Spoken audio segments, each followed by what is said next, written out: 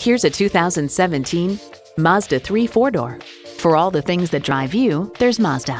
It comes with great features you'll love.